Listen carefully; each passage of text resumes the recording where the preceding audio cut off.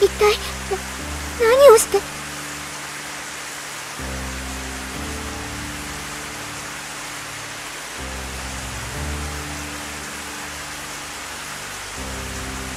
さと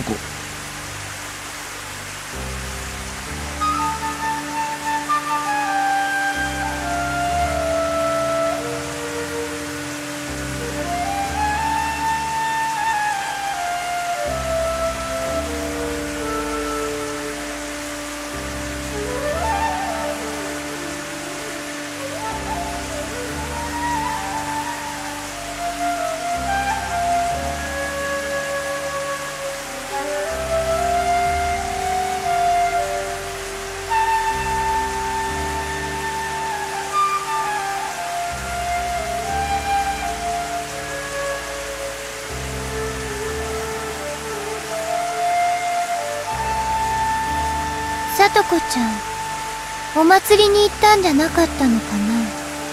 かな？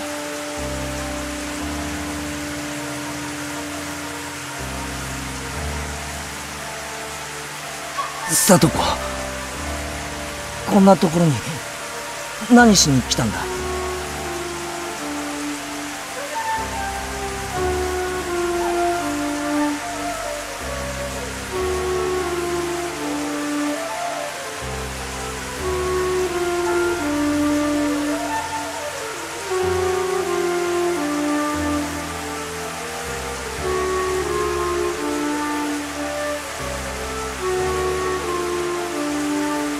さと？こ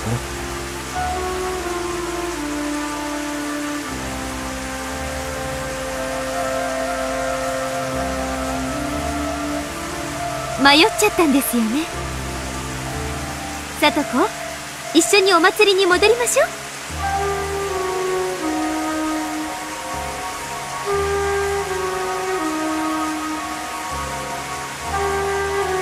違う。違いますわ。わ私おじさまを探しに来ただけですのよ。おじさんならきっともうお家に戻ってると思うな。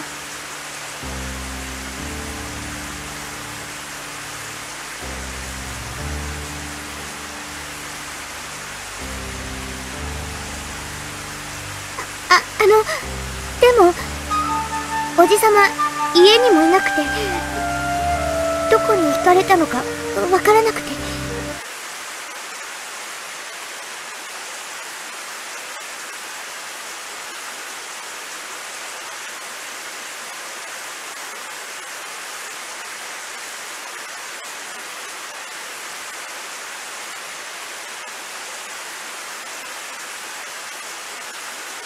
おじさまを一人にしてはやっぱりまた怒られると思ってわ 私はべ別にその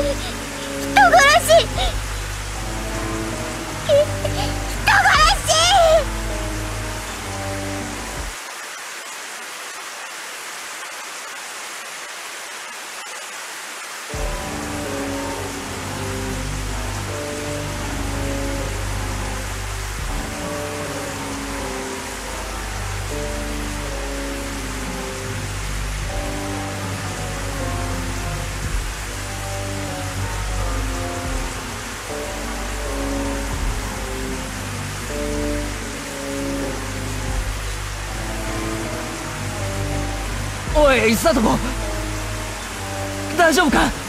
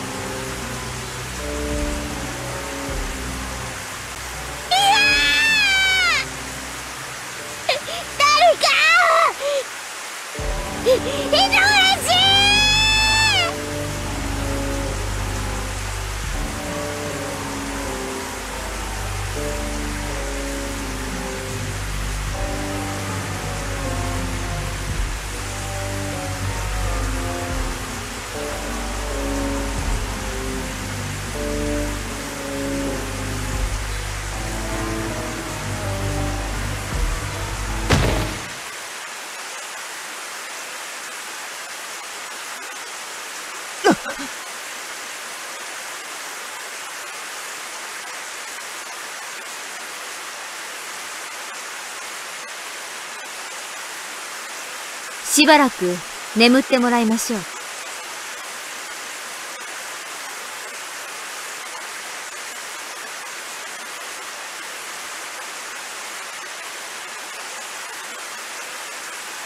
シア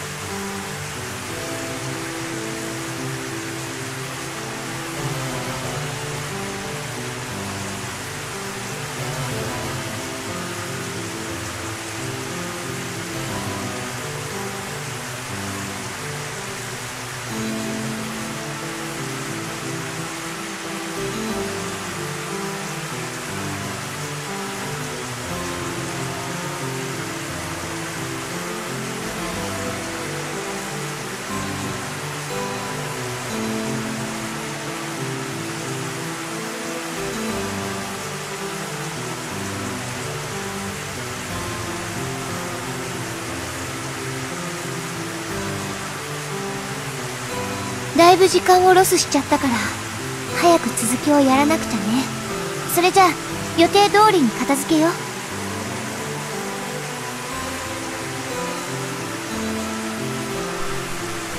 穴まで運ばなくちゃいけませんね。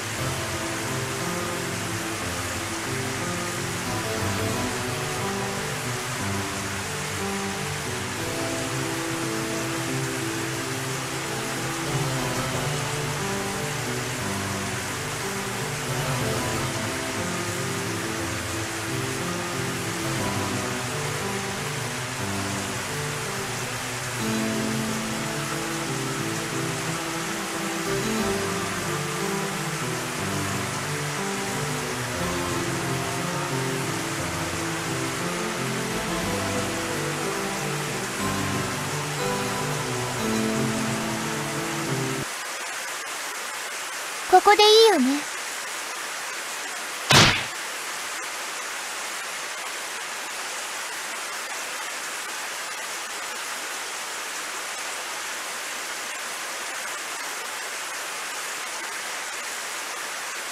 ケイチくん、疲れちゃったかな？一緒にやらなくちゃダメだよ。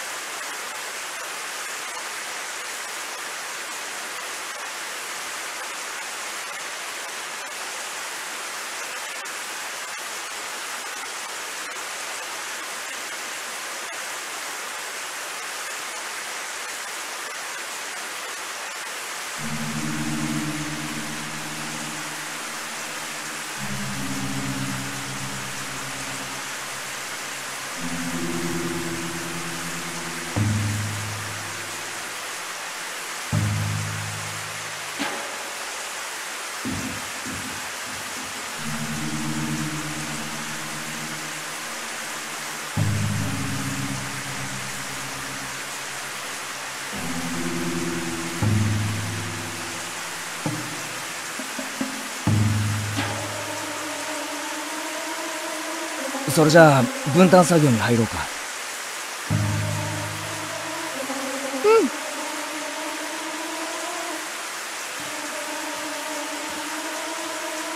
俺は土をかける。うん。レナは沼に道具を片付けに行くね。じゃあ私はあいつのバイクを沼に沈めてきます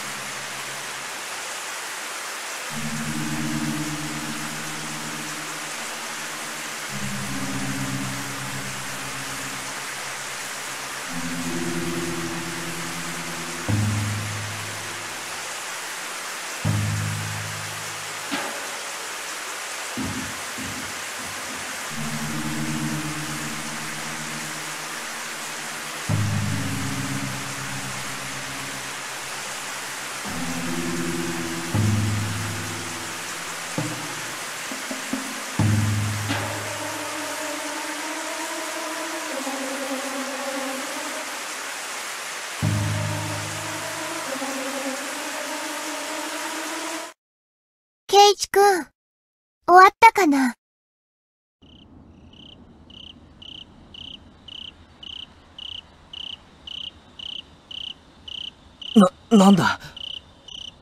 脅かすなよ。あれ？びっくりしたのかな？かな？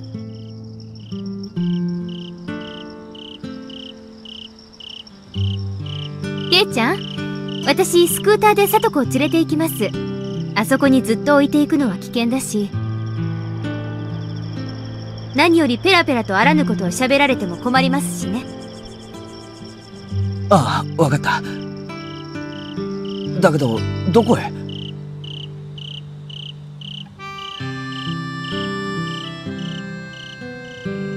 任せてください。考えがあるんですけど後で話します。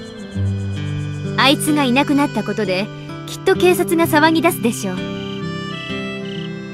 ほとぼりが冷めるまではそこでサトコを預かります。大丈夫なんだろうな。もちろんですよ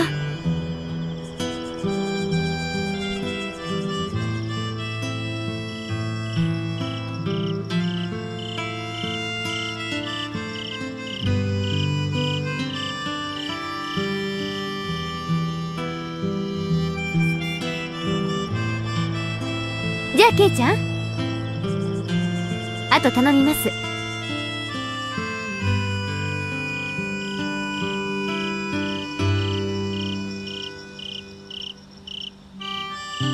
さあ、行こう。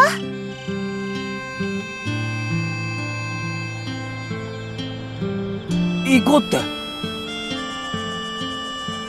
お祭りだよ。アリバイがなくちゃ怪しまれるってそういう予定だったよね。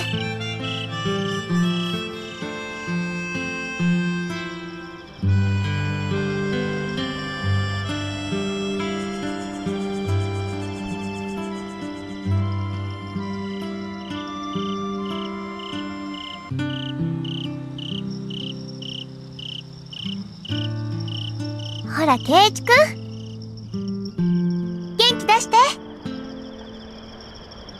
そんなに疲れた顔してたら変だよ。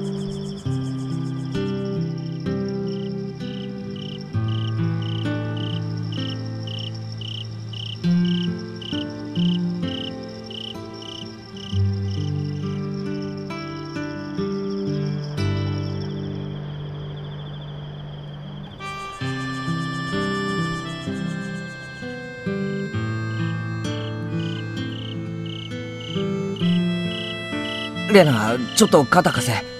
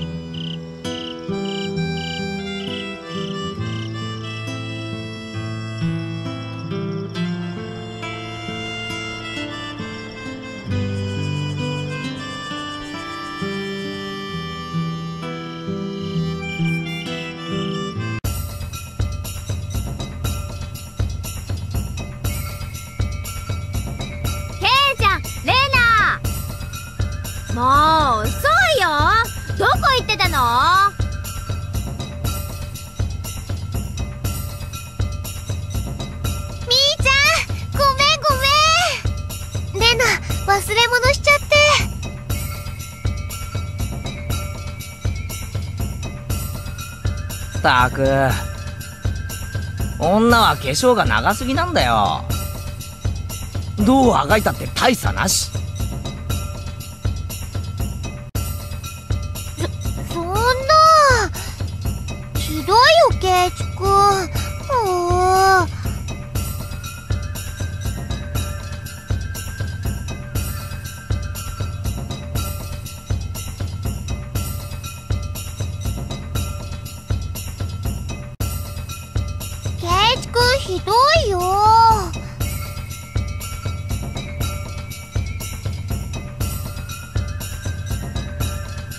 嘘嘘今日のレナも可愛いよ。かわい。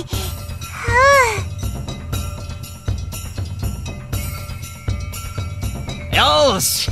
俺も元気が出てきたぞ。叩き売りでも何でも手伝ってやるぜ。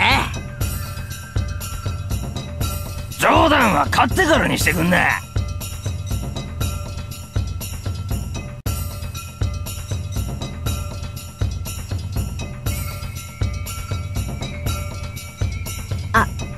あのさケイちゃんレナ。なんだ？そのさとこだけど。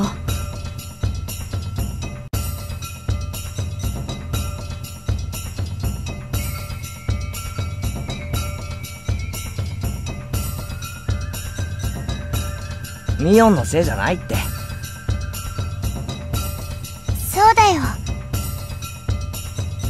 から頑張ってさとこちゃんが帰ってこれる方法を考えよう。ねみーちゃん。ケイちゃんレナ。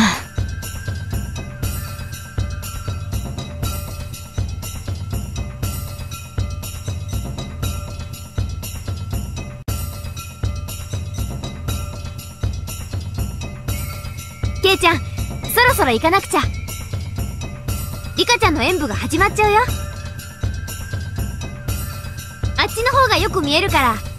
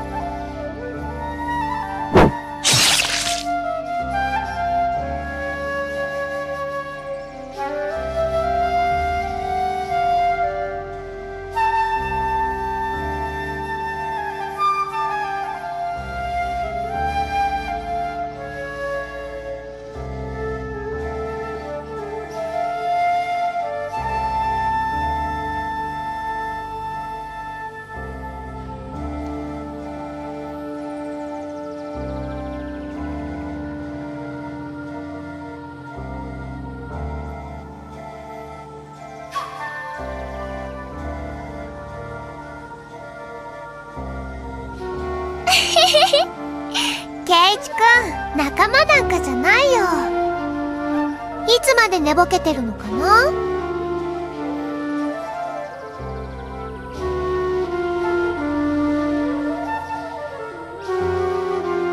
はあケイチくんどうしてそんなことをレナに聞くのかな？かな質問攻めにして相手の質問を封じ込める気なんですよ。やましいことをしてるなんて口が裂けても言いたくないですからね。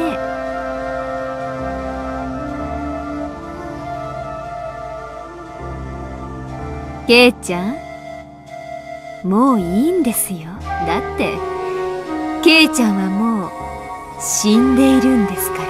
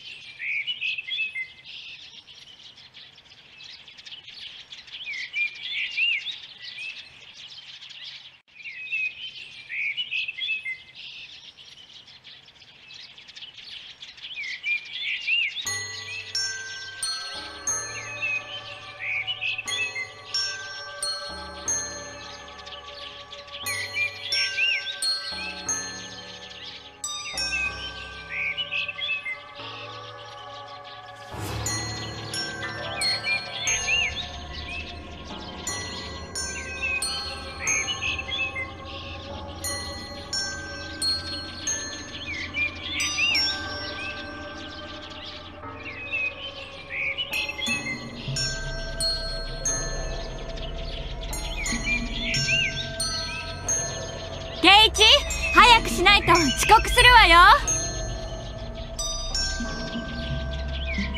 今行くよ。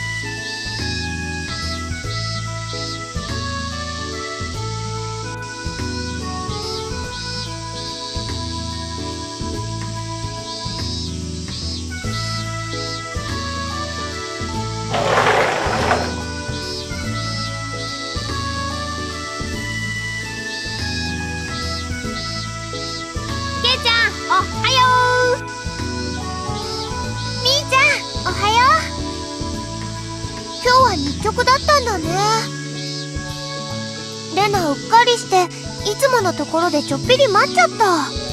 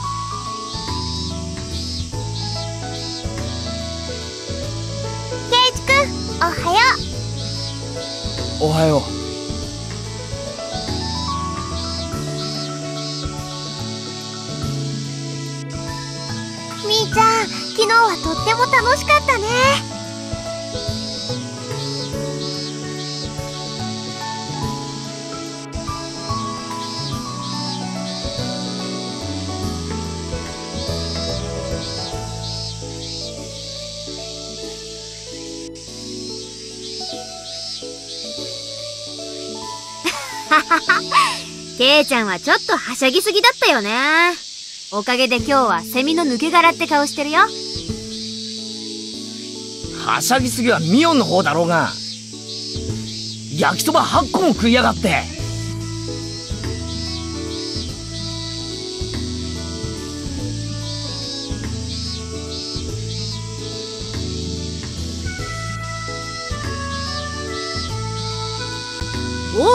食い競争なんだからたくさん食べて当然。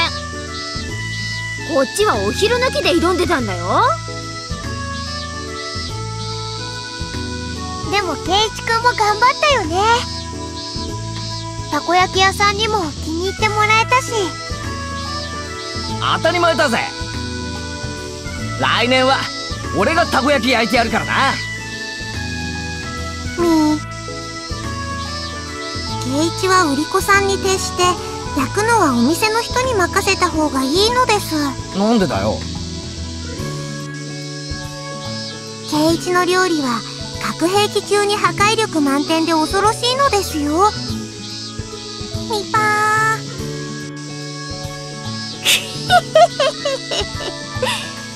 おじさんもケイちゃんのたこ焼きは食べたくないな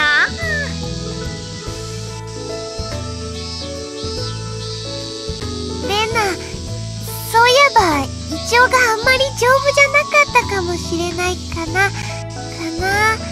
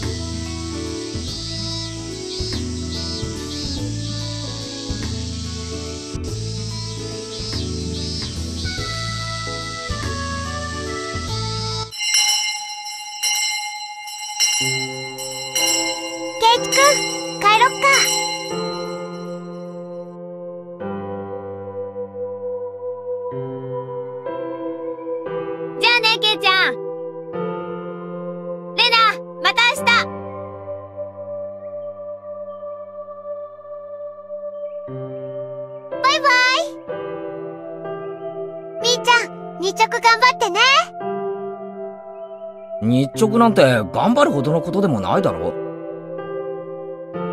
へえ。ケイちゃんは日直頑張らなくても大丈夫なんだ。おじさんにはそんなの絶対無理だな。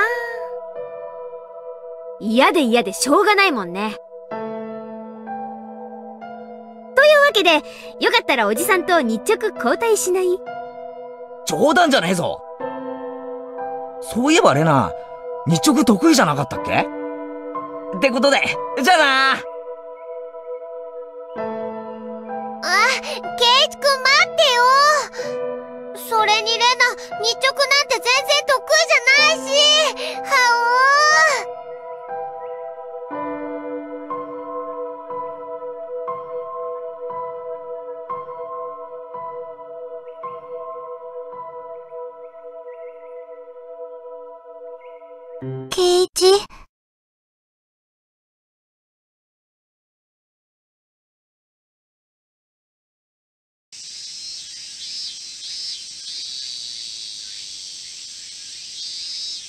ちゃん、どうしたのかな？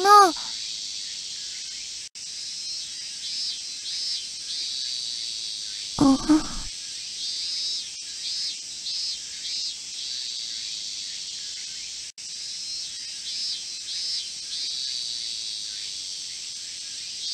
リカちゃん？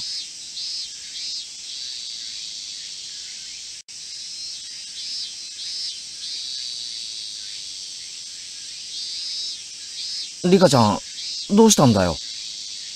何かあったのか？大丈夫です。転んだだけです。ほら。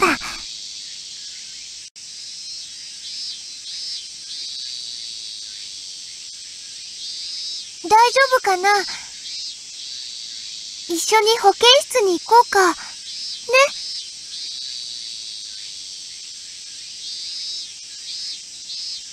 リカちゃん？大丈夫なのです。僕は大丈夫なのです。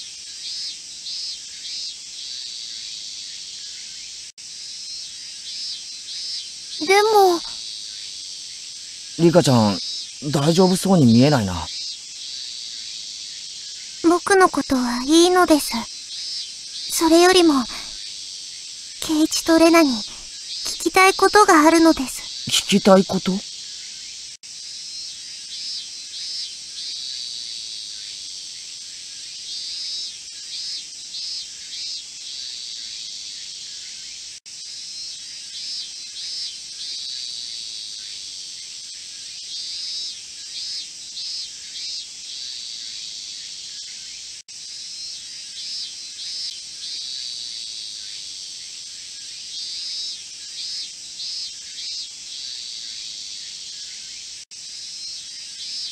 僕はただ、知りたいだけなのです。夕べのこと。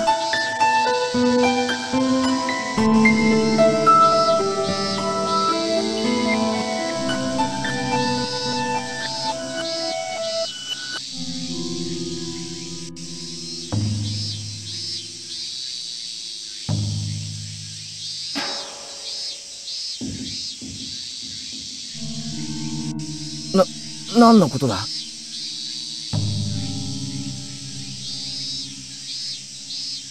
リカちゃん、何を知りたいのかな？かな？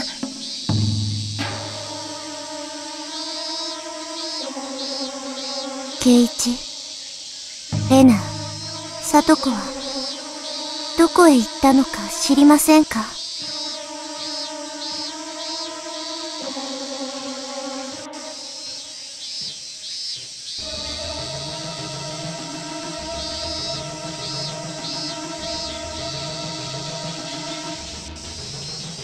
えてほしいのです。サトコはどこへ行ったのですか？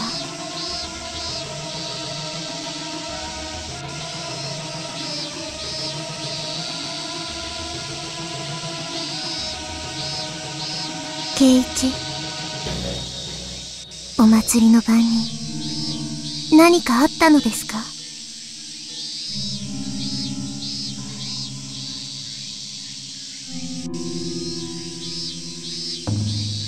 例えば、悪いことをしたとか。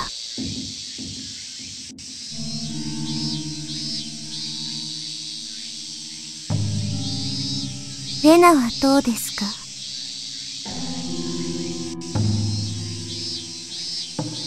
し、知らないよ。レナはずっとお祭りにいたし。ずっと、ですか？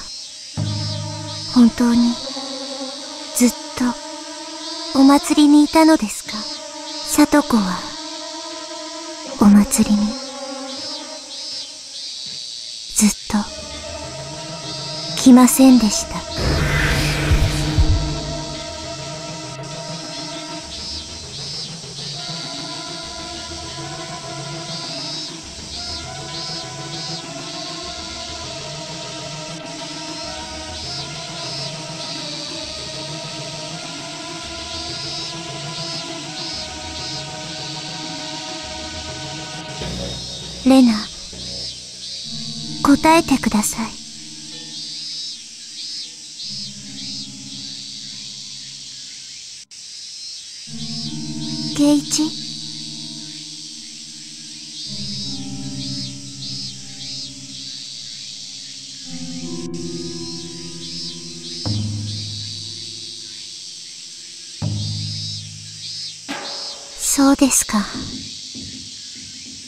らないのなら仕方ないのです。ごめんね、力になれなくて。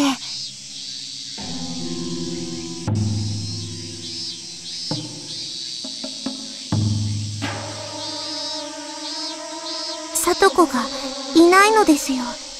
夕べも今朝も北条の家を見てみたのですが、とても静かなのです。家の中には、誰もいないみたいなのです。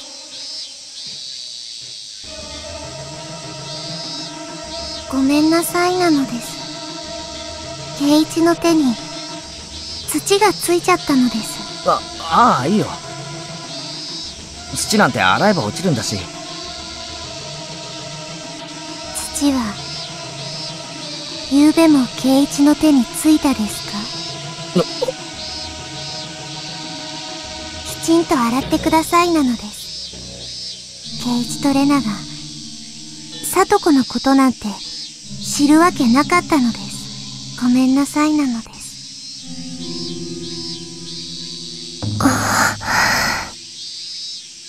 ニパー。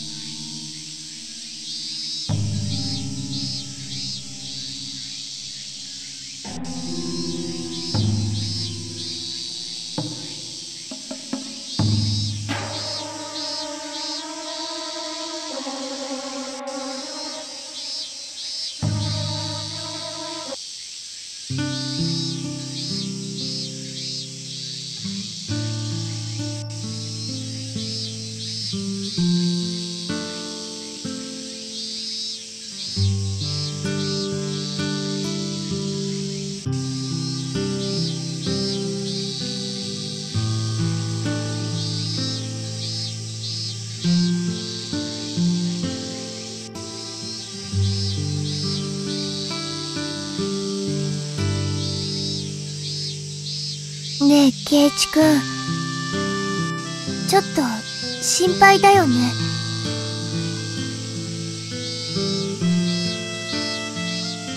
心配って何が？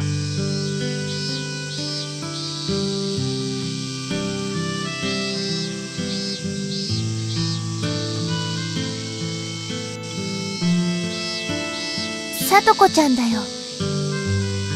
さとこ？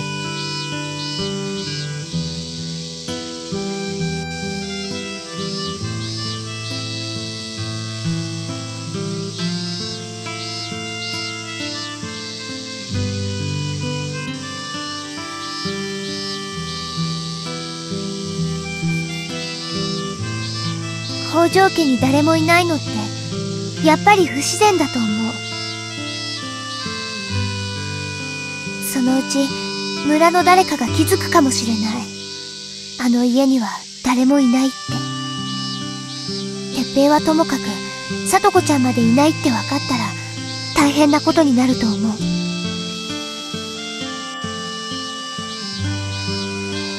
シオンに電話してみるよそれより、しーちゃんに会ってみようよ。昨日別れてからのこと、レナも気になってるし。それもそうだな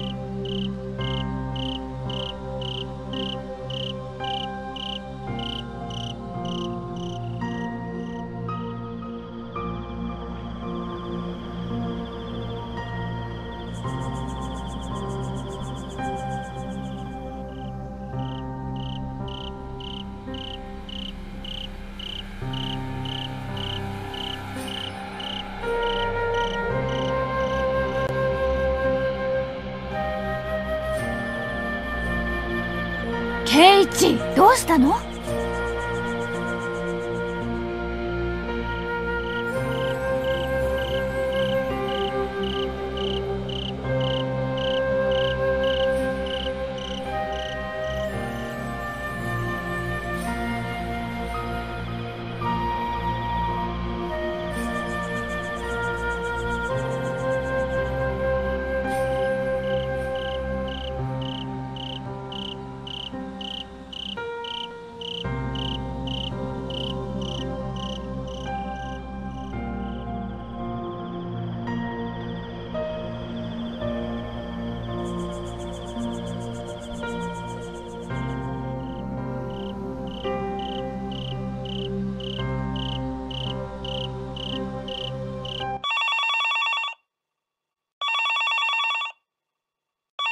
もしもし。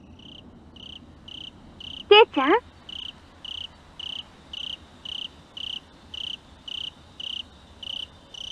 シオン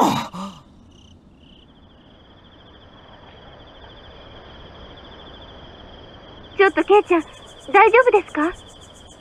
伝言を聞いて電話したんですけど、どうしたんですか？どうしたじゃないぜ。あの後どうなったかと思ってたんだぜ。電話くらいしろよな。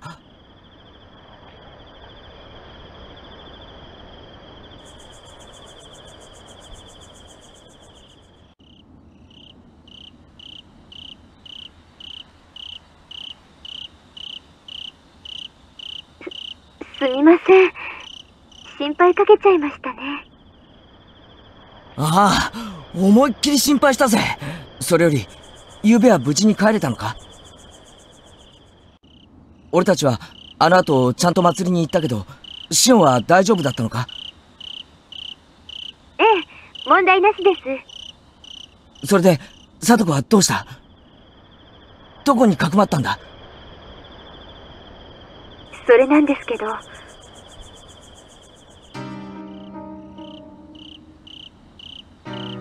何かあったのか？昨べから行方不明になっている北条哲平の行方を、今警察が必死で探しているみたいなんです。の警察はもう失踪したことを突き止めたのか？ええ、夕方バイクで出かけていくところを見た人がいますし、北条家は昨べからもぬけの殻です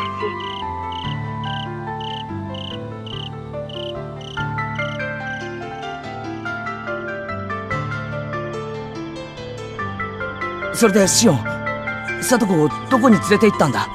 大丈夫です。誰にも会わない場所でおとなしく眠っています。時期が来たら、ケイちゃんにも教えます。でも、今は言えませ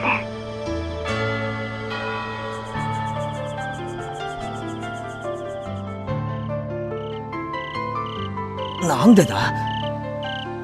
なんでサトコの居場所を言えないんだ？一緒にいなくなったサトコも重要参考人として狙われているそうです。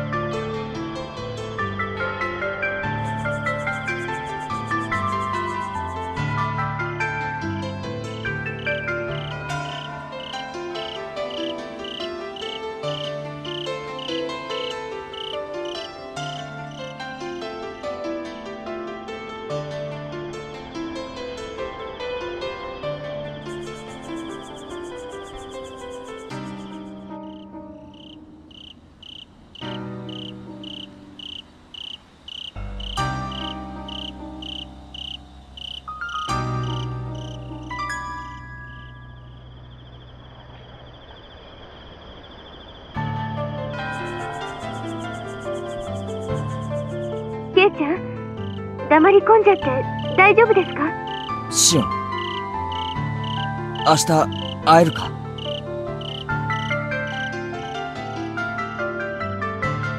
シオン。何か都合が悪いのか？別に。大丈夫です。じゃあ沖宮の図書館でレナも一緒に行くからレナさんもですか？わかりました。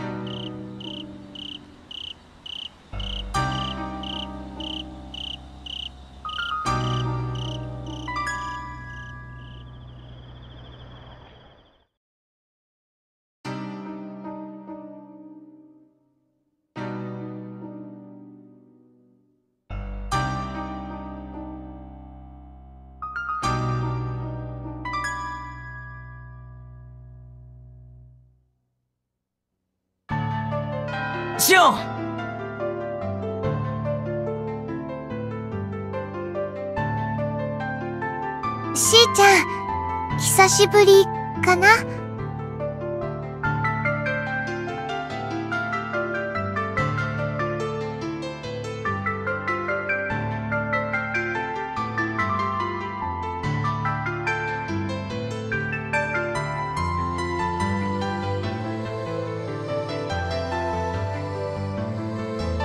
ケイちゃんレナさんこんにちは。ここじゃなんですから。休憩コーナーにでも行きましょうか。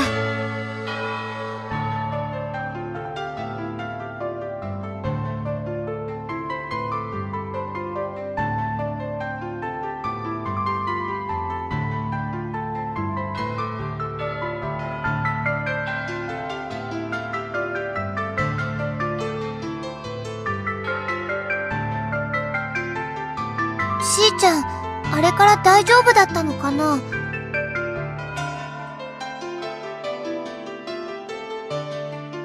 問題なしです。心配かけちゃったみたいですみません。連絡すべきかどうか迷ったんですけど下手に動くのもまずいかなと思って。それで、どうなってるんだ？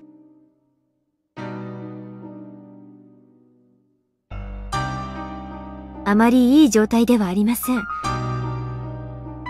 園崎家のコネから掴んだ情報ですが警察はかなり躍起になって北条哲平を探しているようです。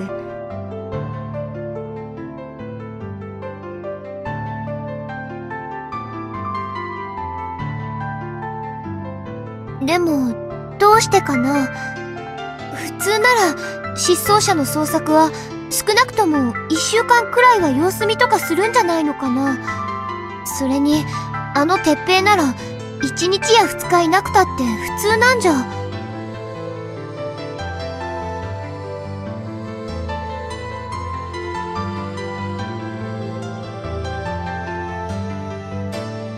通ならそうかもしれません。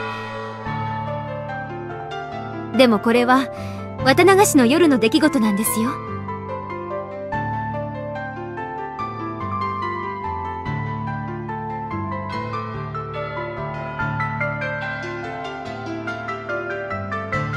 北条哲平がバイクで林の方角へ走っているところは近隣の住民に目撃されています。ただそれ以降の足取りは警察にはつかめていません。加えて北条家から連日聞こえていた近所迷惑な怒鳴り声が以後ピタリと止んだ。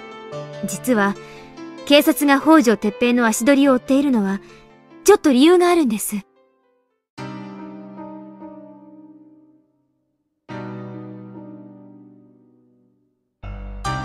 富武さん。もしももう知ってるなら改めて言うような話じゃないんですけどその知ってますか？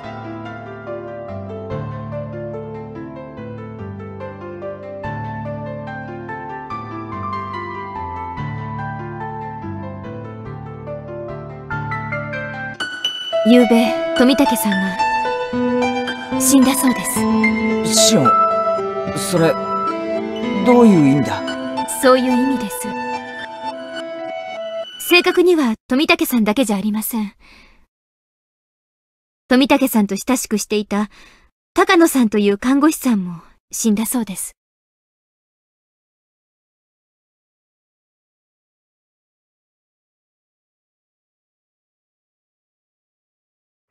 二人はお祭りの夜に目撃されています。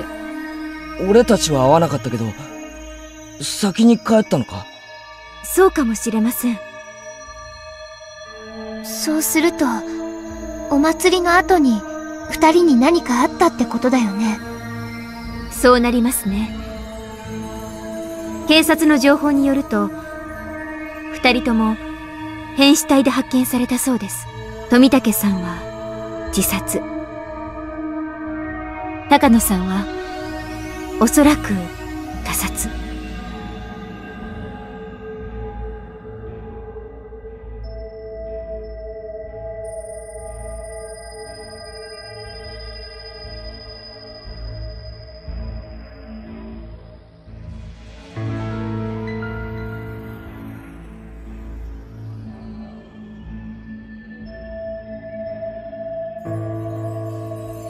自分の爪でガリガリと喉をかきむしってむき出しになった血管を引きちぎってそれはむごたらしい死体だったそうです。富武さんは自分の血で溺れ死んだようになって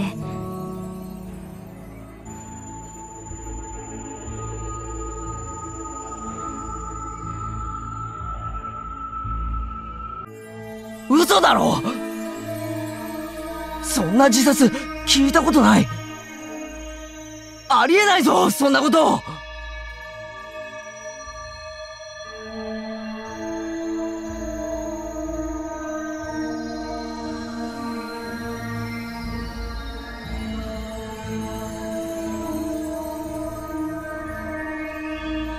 高野さんについての説明も必要ですか？ごめん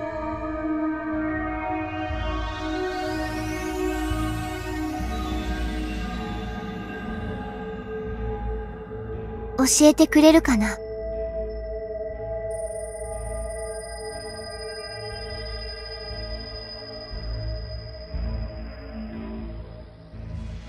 高野さんは焼死体で発見されたそうです。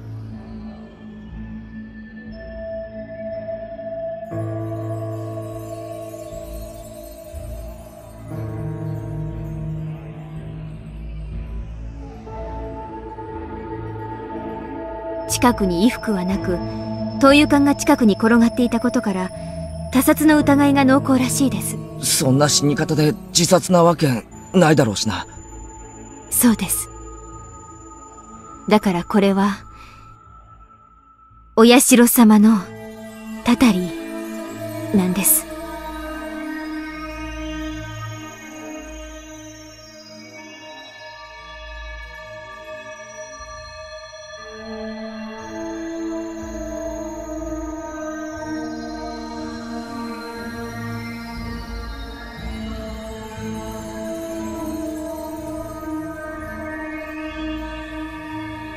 それで、行方不明になっている北条哲平を、警察が躍起になって探しているんだね。そうです容疑者として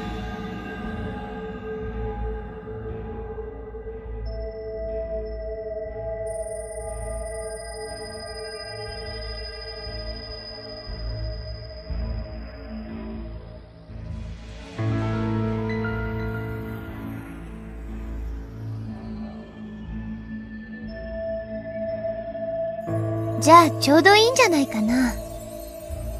これは、お社様のたたりだから。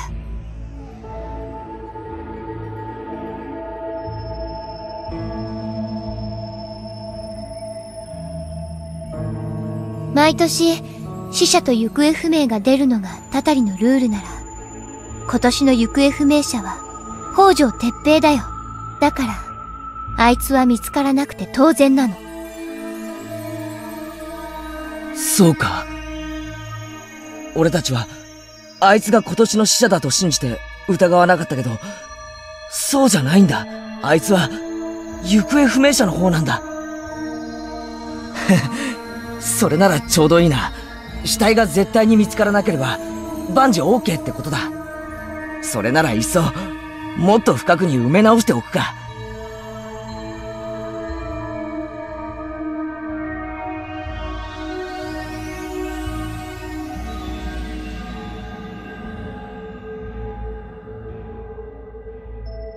そうだね。雨が降って土が流れてもいけないし、そんなに深くなかったもんね。あの穴は。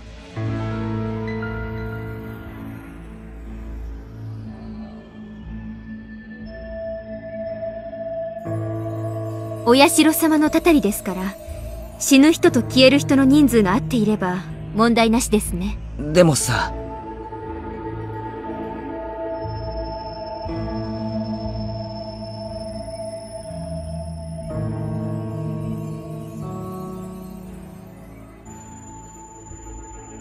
圭一くん。お社様のたたりが、圭一くんにも降りかからないかってこと、思ってるのかな？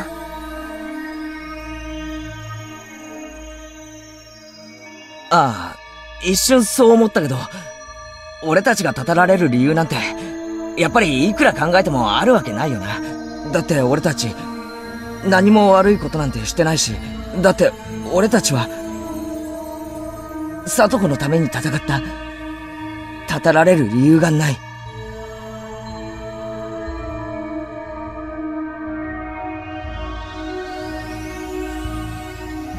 そうですよ。気弱になってる場合じゃないですよ、ケイちゃん。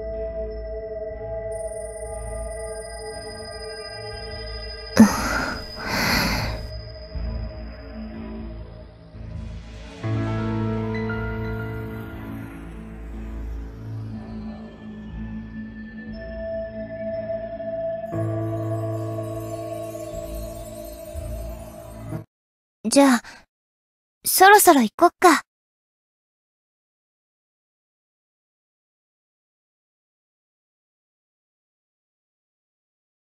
シオン、サトコはどこにいるんだ？しーちゃん？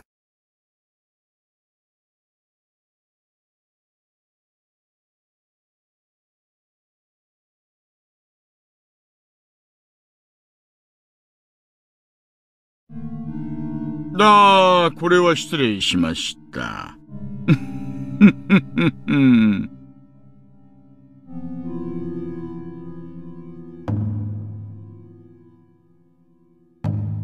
大石さん。いつからそこにいたんです？善良な一般市民の話を立ち聞きなんて、あまり感心しませんね。くれぐれも善良な一般市民でいていただきたいもんですな。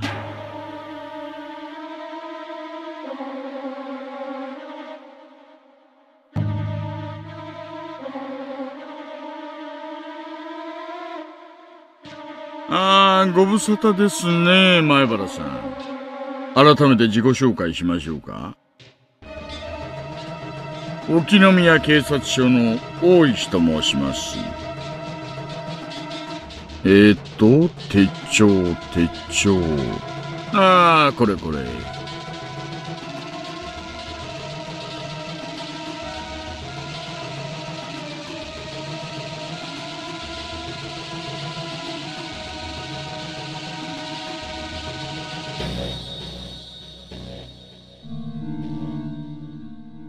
えー、っと、前原さんと、あなたが竜宮さんですね。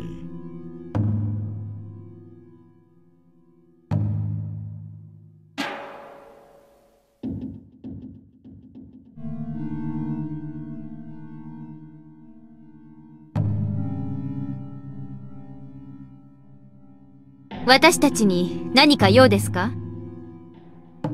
皆さんの噂はかねがね聞いていますよ。何しろひなみ沢は小さな村ですからね。顔と名前くらいすぐ覚えちゃいますよ。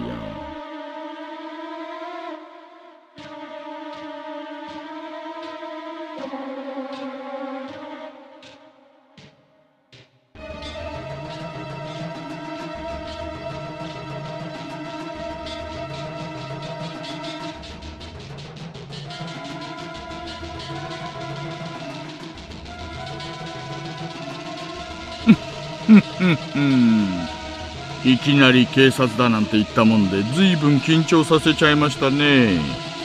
これは失礼。いやいや私もちょっと世間話をしたかっただけなんですよ。深い意味なんかこれっぽっちもありません。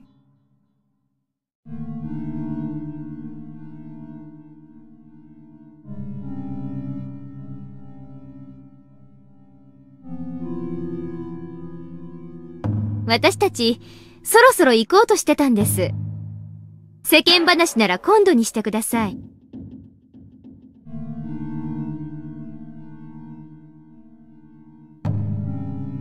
待ってください。ふん。前原さん。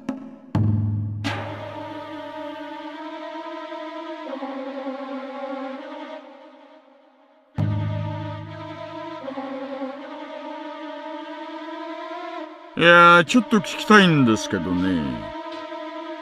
おとといの夜、前原さん、どこにいました？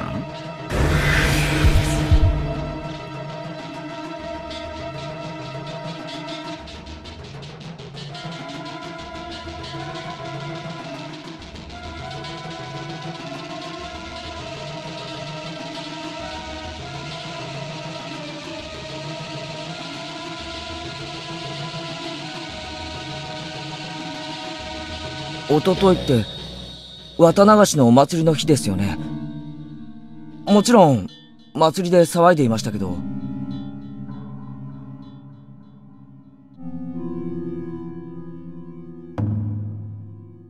ほほ、お祭りね。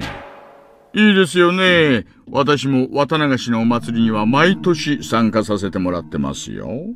もっとも、こっちは警備ですけどね。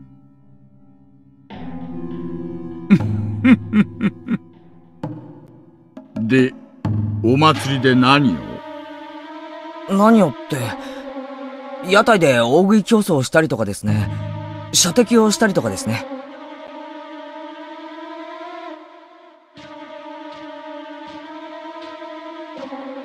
前原さんがお祭りで遊んでいたのは何時頃でしょう？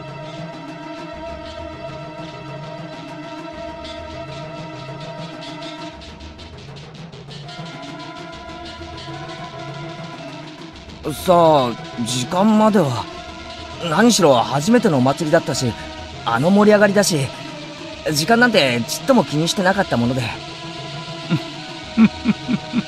そうでしょうな。じゃあ、リンゴさんはどうですか？えっと、ずっとケイチくんと一緒でした。ずっと？ずっと一緒にお祭りに？はい。みんなと一緒でした。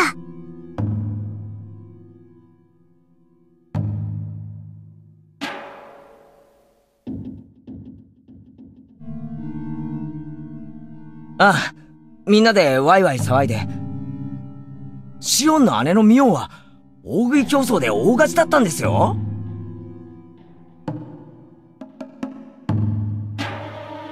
じゃあ、園崎しおんさん。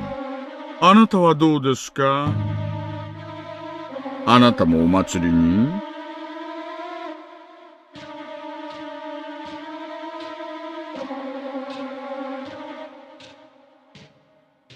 私はバイトでした。バイト？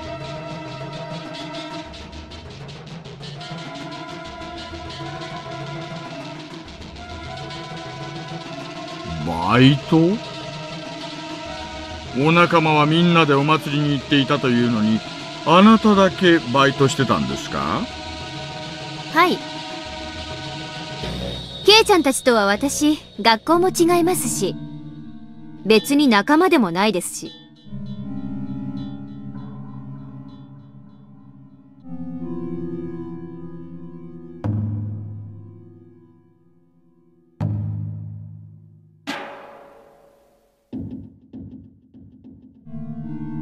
なるほど。で、バイト先はどんな？ファミレスです。エンジェルモートっていう。この辺りじゃ、ちょっと有名なファミレスですよ。あはーよーく存じ上げておりますよ。よーくね。制服が可愛いんですよ。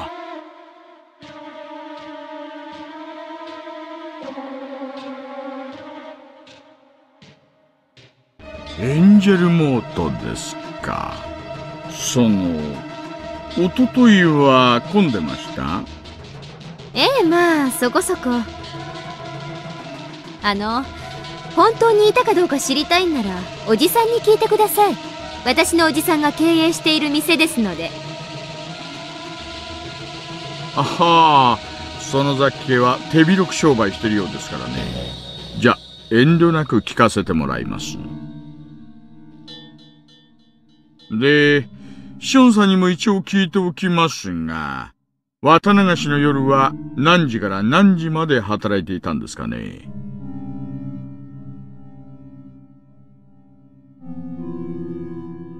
さあ、帰ったのは12時過ぎですよ。私ほんと、今からバイトに行かなくちゃいけませんので。とにかく、あの日はずっと働いてましたから。じゃあ、私はこれで。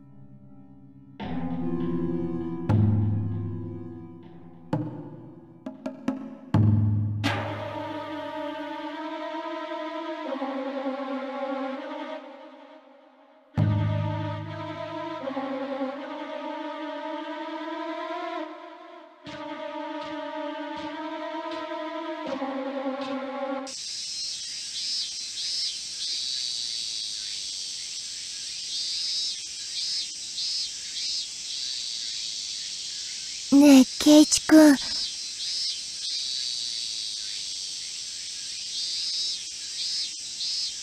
さとこちゃん、無事だよね。ああ。シオンが大丈夫って言うから、大丈夫だろう。そうだよね。なんか嫌な予感がしちゃったから。レナの気のせいだよね。